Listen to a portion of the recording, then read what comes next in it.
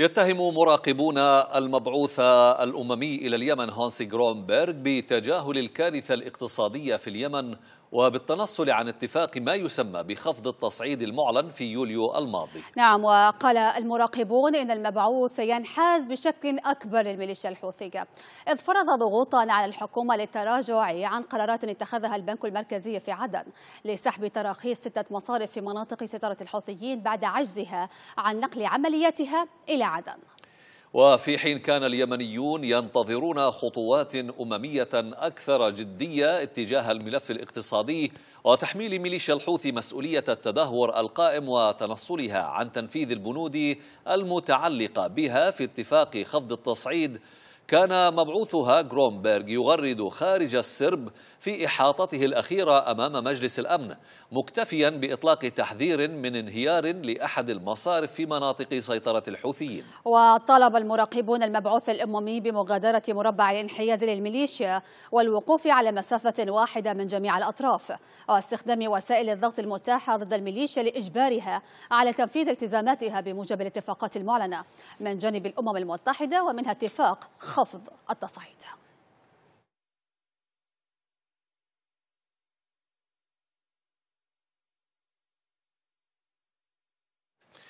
للحديث حول هذا الموضوع ينضم معنا الكاتب والمحلل السياسي فهد سلطان. أستاذ سلطان أهلا وسهلا بك. إذا أنت كيف قرأت هذه الإحاطة لجرومبرغ والانتقادات حولها؟ أهلا وسهلا بك أخي الكريم وبالمشاهدين الكرام. موقف المبعوث الأممي ليس جديدا وهو موقف منذ تم تعيينه وحتى الآن. هذا موقف الدول العشر أو موقف الدول الكبرى هو أن تبقى الحرب قائمة في اليمن، أن تبقى أسس هذه المشكلة حاضرة وقائمة حتى إشعار آخر. عندما حاولت الحكومة اتخاذ قرارات صارمة وكانت قرارات قوية ومدعومة بتأييد شعبي وكانت هذه القرارات قادرة على أن تخنق الجماعة أو على الأقل أن يعني تعيدها إلى مربع الطاعه كما يقال. آه، تدخل المبعوث الأممي بصرامة شديدة وتم إلغاء تلك القرارات التي كانت هي من مهمة الدولة والحكومة. اليوم عندما عاد التدهور من جديد وعادت بقاء البقاء المشكلة وازداد استفحالها أكثر وأكثر يتناسى المجتمع الدولي ويغيب المبعوث الأممي وتغيب كذلك القرارات ويعني الغرض والخلاصة هو أن المبعوث الأممي هو ينفذ أجندة هذه الدول في أن تبقى المشكلة في اليمن قائمة لا يسمح لموت هذه الميليشيا أو خلقها أو تعافي اليمن من الحرب والصراع. مهم أن يبقى الحرب والصراع في اليمن حتى إشعار آخر. هذه هي الخلاصة. عندما نحاول نحن اليمنيين سواء شعب أو حكومة أو أننا دائما نستنقذ بهؤلاء بعد عشر سنوات قاسية بعد عشر سنوات يفترض أن يكون الجميع قد استوعب كثير من الدروس. فهمنا هذه اللعب. كنا قبل هذا التاريخ على الأقل نثق بالأمم المتحدة نثق بهذه الدول نثق بالقرارات يعني على الأقل ولو بحد معقول. لكن بعد عشر سنوات من الحرب في اليمن أصبح المسألة مكشوفة. لم يعد هنالك وضع رمادي الوضع آه، بات واضحا. يعني عندما أريد لتحرير مدينة الحديده تدخل العالم كله واسقطوا تلك المحاولة في محاولة إبعاد هذا ال ال ال يعني المكان المهم والحيوي الخاص نعم. بالحكومة و آه، تسليمه وابقائه تحت الميليشيات رغم أنها حتى الاتفاق الذي تم توقيعه في هذا الغرض آه، داسته الميليشيات وتخلت عنه وسكت العالم وتناسى هذا العالم. يعني ينبغي الا نحمل الجماعة أو نقول نحن نحمل الجماعة ما الذي يعني قتلت ودمرت وسحلت وفعلت كل الأفاعيل، كلمة تحميل نحمل هذه الميليشيا هذه كلمة ممقوقة ليس لها قيمة ولا تعطي شيء.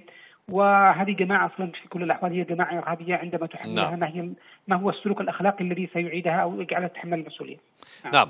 يعني أشار المبعوث الأممي إلى يعني, آه، يعني إمكانية إفلاس آه، أحد البنوك التجارية آه، ولشرح مدى كارثية الوضع الاقتصادي. لماذا أخذ هذا كنموذج؟ وماذا يعني تمتلك الأمم المتحدة فعله لمعالجة الوضع الاقتصادي في اليمن ولم تفعله؟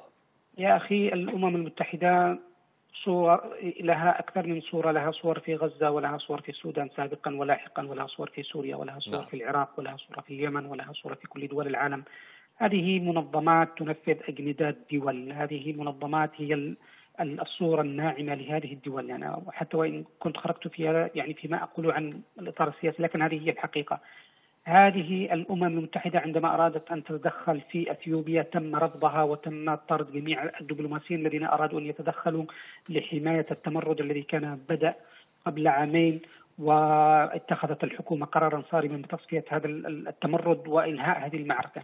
عندما تدخل الأمم المتحدة وعندما تدخل يعني حتى الأمم المتحدة اليوم الذي تفعله في في اليمن يعني هؤلاء خلال العشر سنوات حاولوا يعني يحاولون يعني إبعاد ماء اليمنيين وجوههم وتحويلهم إلى متسولين هؤلاء تجار حروب وتجار صراعات يحاولون أن يسيء يعني يعززوا مثل هذه الصراعات وهذه الانقسامات داخل هذا نعم. البلد من أجل أن يبقوا هؤلاء.